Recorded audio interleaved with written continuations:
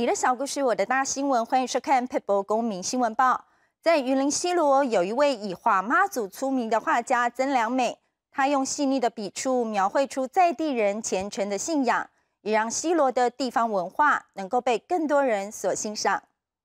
曾经在西罗果菜市场卖菜十几年的曾良美，几年前被云林县议员廖清祥发掘他的艺术天分之后，开启了他的创作生涯，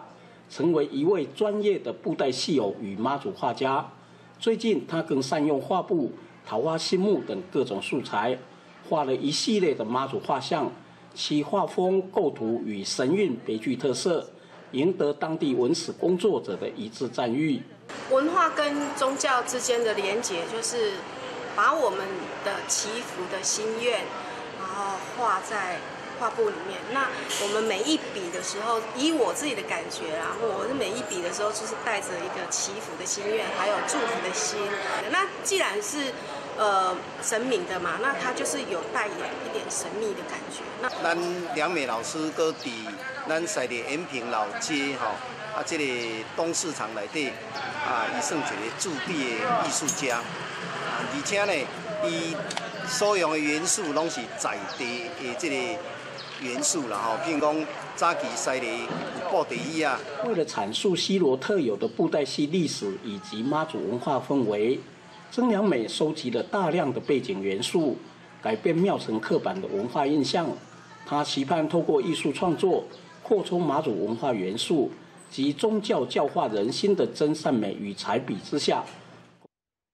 运动舞蹈有希望将成为二零二零年东京奥运的比赛项目。这几年，台湾学舞的年龄层不断的下降，选手们也希望透过多参加各项比赛，累积经验和积分，日后可以出国比赛，为台湾争光。优美的标准舞，性感的拉丁舞，二零一五贝蒂杯运动舞蹈公开赛，超过两百位参赛者齐聚现场，一较高下。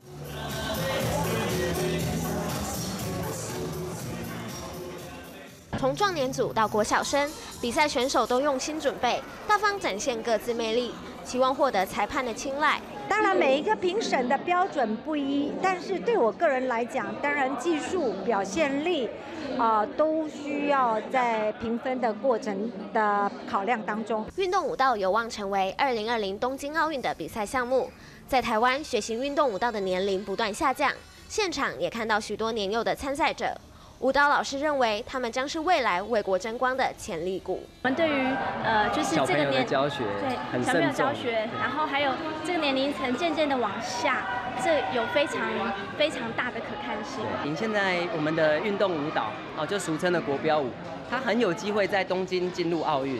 那所以就说现现阶段的这些青少年的选手都是非常重要的，他们可能。